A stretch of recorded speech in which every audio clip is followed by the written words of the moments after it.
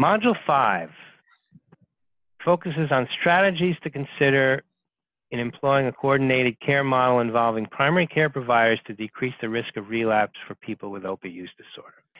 There's an excellent review by uh, Todd Korthuis, uh, was in the Annals of Internal Medicine in 2017 that outlined 12 primary care models for opioid use disorder that are in existence.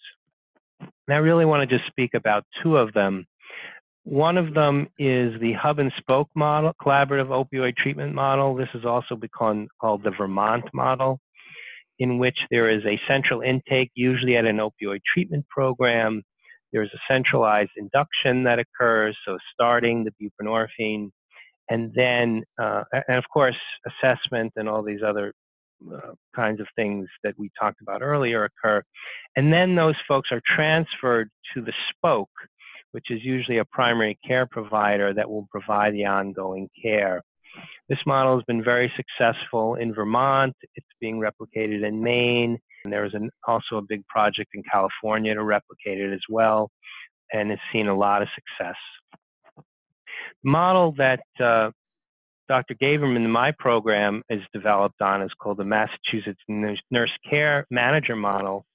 And this is a model in which a uh, there's a dedicated nurse supporting the prescriber in a health center. Typically, these are federally qualified. Ours is a look-alike, but uh, the principle is the same that that there is support staff who is responsible for the day-to-day management of these patients uh, in support of the prescriber.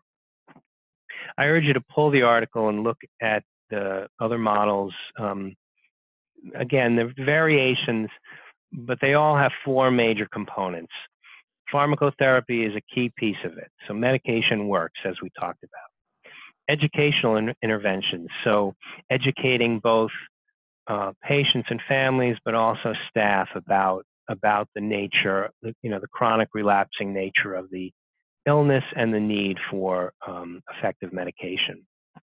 Coordination and integration with other medical and psychosocial needs is a big part of it. So many of these studies use case management. A number are increasingly using recovery coaches and peer um, uh, support uh, interventions, again, to help support people and coordinate their care to meet the um, you know multi-dimensional needs and deficits that folks experience. And then finally, the delivery of psychosocial services.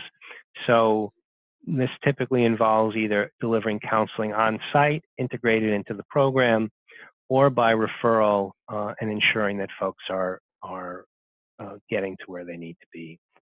Well, as Dr. Friedmann described in detail, providing this addiction treatment within the primary care office makes it much more accessible to patients and allows the primary care provider to collaborate and coordinate with other members of the patient's care team.